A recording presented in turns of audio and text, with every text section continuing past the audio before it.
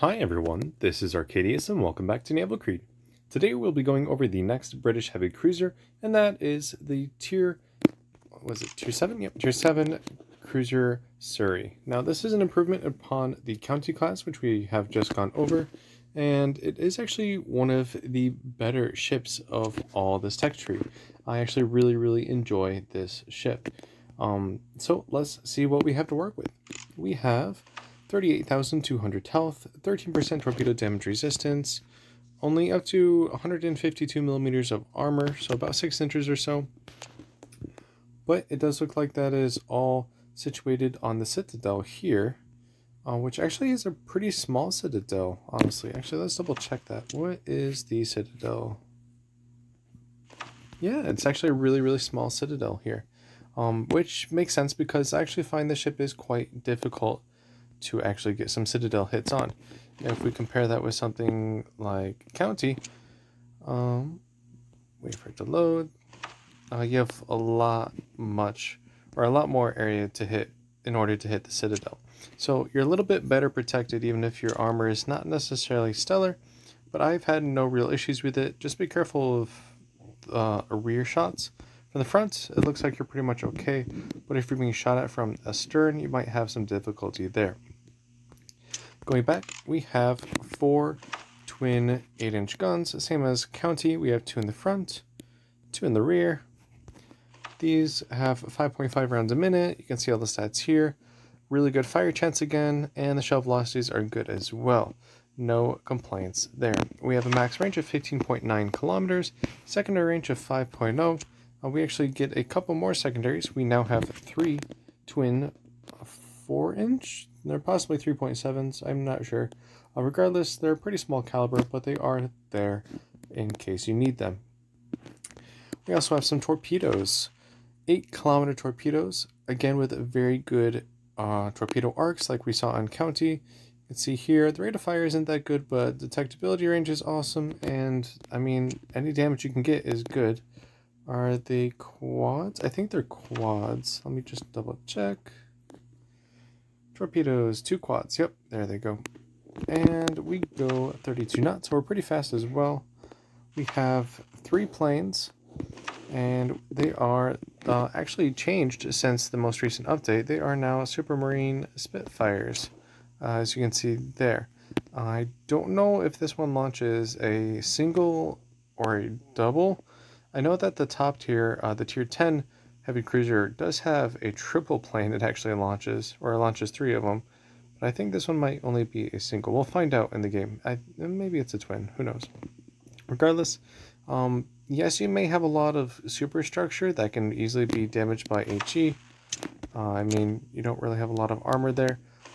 But it is really, really good. I really do enjoy the ship. She comes with a smoke screen and the repair party and the heal just like all the other ships, and you can use those to the best of your ability. So let's toss into a game and see what we can do.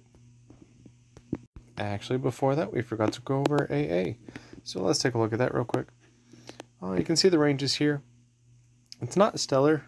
Um, you will knock down some planes, but you're not really going to focus any of these heavy cruisers for specific anti-air uh, defense, if you want a good anti-air defense British cruiser, you might as well go with Edinburgh, uh, since she has really, really good AA, and she can equip an anti-aircraft defense barrage. So, let's toss Surrey into a game and see what we can do. Alright, let's see what kind of game we have today. Oh, quite a few ships. We got one carrier, three battleships, quite a few cruisers, and one destroyer. So a little bit of everything, but with a focus on cruisers, especially those Chung Kings. Alright, we should be able to take care of those pretty easily. Alright, so I do have health buffs and speed buffs applied, so do keep that in mind. And I'm not entirely sure, but I actually think this was a real ship. Uh, at least from what I've heard. I haven't actually looked it up myself. But this may be the last actual, well, realistic ship for the British heavy cruiser line. Everything above the Surrey is kind of a, a paper ship. Okay, so let's just start heading this way. Right, so what kind of battleships do we have? Nelson, Gneisenau, and Colorado.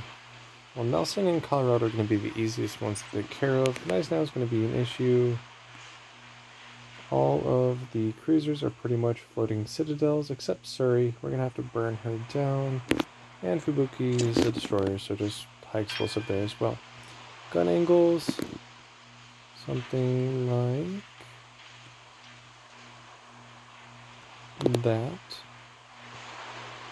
Um, not the best. You're still going to get quite a few pens on that kind of angle if you use all four of your guns. So do keep that in mind. And torpedo angles, again, they're really, really good for this class of ship. And just in general, honestly, like I said, there's no way you can have any target pretty much escape your torpedoes with arcs like that. so we're just gonna um, form up with this Myoko it looks like, and start heading this way. Though she's gonna turn right and Ramos, but that's fine.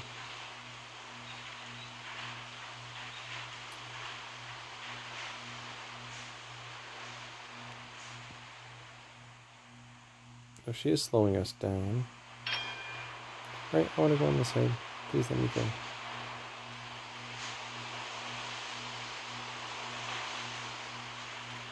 And so we should start seeing targets pretty soon. There we go, there's the Gneisenau. Actually, let's see. Okay, so we only do send up a single plane. So that is confirmed single plane, but we do have three of them. So we have a little bit of wiggle room in case they're shot down.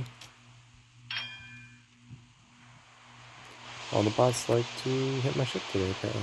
Alright, so let's just start getting some rounds out.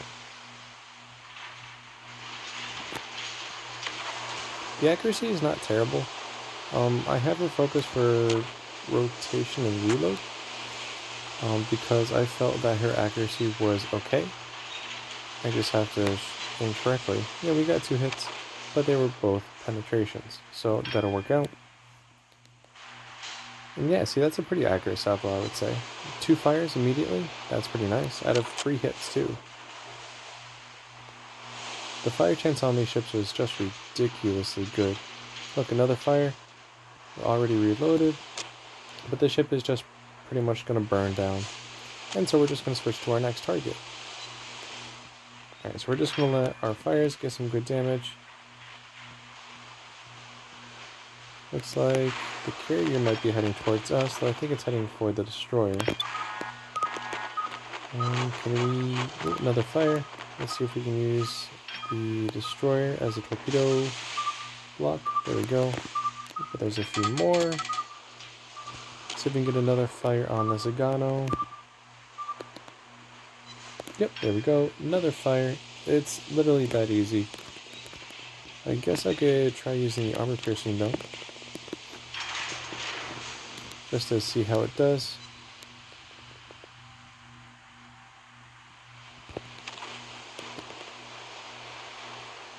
It should be really good against cruisers like this. yeah, three Citadels. Right off the bat. And there's nowhere for this Chung King to go, so she's going to be pretty much dead in this next volley. There we go, two more citadels. What about the Agano? Actually, you know what we're going to do? We're going to stop. We are going to stop and pop a smoke screen. And just sit here and shoot at all the targets we can hit. So there goes another one. You can see your armor piercing is really good against cruisers. Uh, your high explosive is good against them as well, as we saw in that Surrey. But if you wanted to, you could just farm citadels instead. I personally just like burning everything. Um, that's a style I enjoy. Uh, and especially on this Myoko, I'm not having a good time getting some citadels. So we're just going to switch back to high explosive and see what we can do about burning him instead.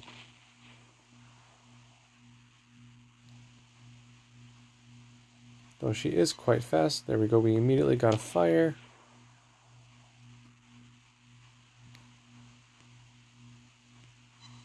Another fire, and she's gone. Alright, let's see. You can't hit any of those. The Illustrious is over here.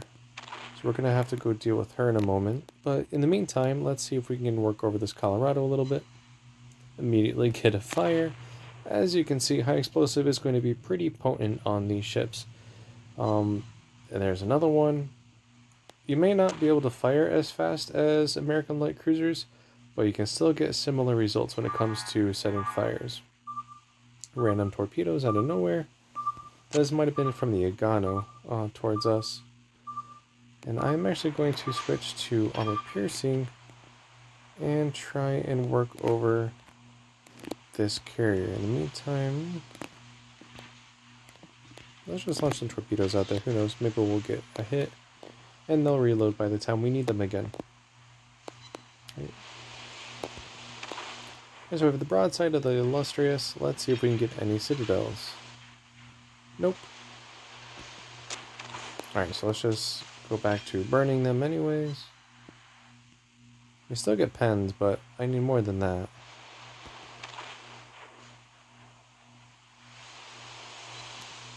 Yeah, so that was some pretty good damage, but no fire yet. Okay, so there's some dive bombers up, but we did get a fire. See, you can shoot down a couple planes and put our fighter back in the air since was shot down, um, but not really enough to stop a strike from attacking you. There's another fire. There are torpedo bombers in the air though, and so we're going to have to use our nice maneuverability to try and dodge these torpedoes.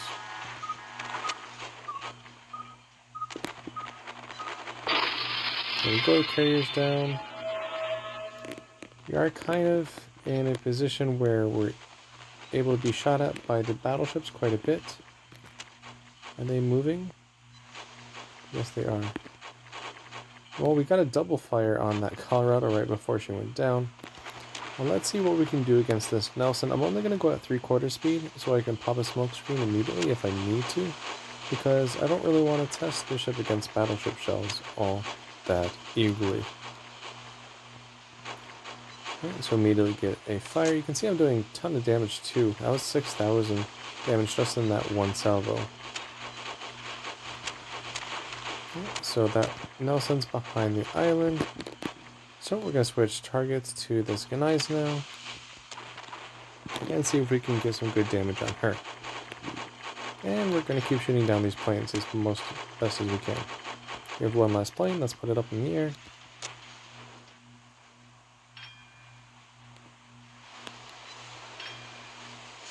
Two fires immediately. If we aim towards the back, we might be able to get another one. Although she is reversing, so I doubt it.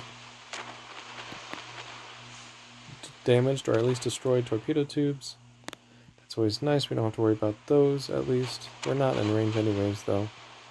But you can just see that high explosive is really, really good on strip. Let's try armor piercing, see how that does.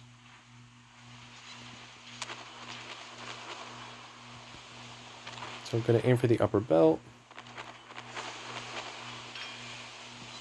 Mm, four shatters and a ricochet.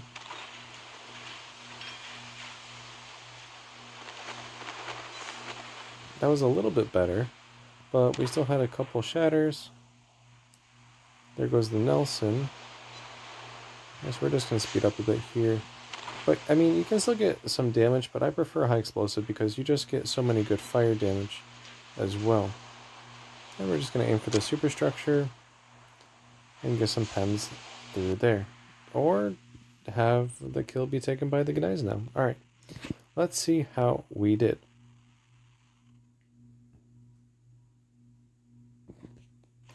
250,000 damage, 3 ships sunk, 243 shell hits, 13 planes shot down, 6 citadels, 16 fires, 1 module destroyed, over 8,000 base XP, and let's take a look. So 101,000 of the damage was just in high explosive shells. We did 80,000 in armor piercing, but we also had quite a few citadels, uh, so that was probably the result of most of that.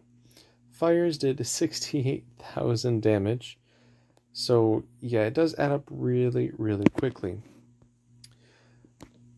Yeah, the ship is very, very good. Uh, we didn't really get a chance to shoot the destroyer, but if you hit a destroyer with an 8-inch high explosive shell, it will hurt. Um, don't get me wrong. Against cruisers, you can either burn them, uh, like I did to that Surrey, or you can just Citadel them like the Chung Kings. Battleships, I just primarily stuck to high explosive and burned them through the superstructure because I was still getting like at maximum 7,000 damage as well. Uh, so that does add up really quickly over time. Carriers, you do have AA and a few fighters, but I wouldn't really say you are a good ship to take on aircraft. You may get a few kills, but not enough to really keep you alive. You're going to have to keep um, using your maneuverability to keep you alive, honestly.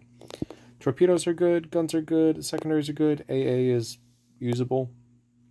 Like I said, she's just a really, really good ship. I do enjoy her quite a bit. Uh, with that, that is the last ship we will have that has twin 8-inch guns, because next video, we now have a British heavy cruiser with triple 8-inch guns. I really don't like the design of the ship, but it is actually a paper ship that was potentially going to be built, or at least it was drawn up, but it was never actually built, and so this is what we have. But next video will be on Albemarle, the Tier 8 heavy cruiser for the British tech tree line. So again, thank you so much for watching and take care.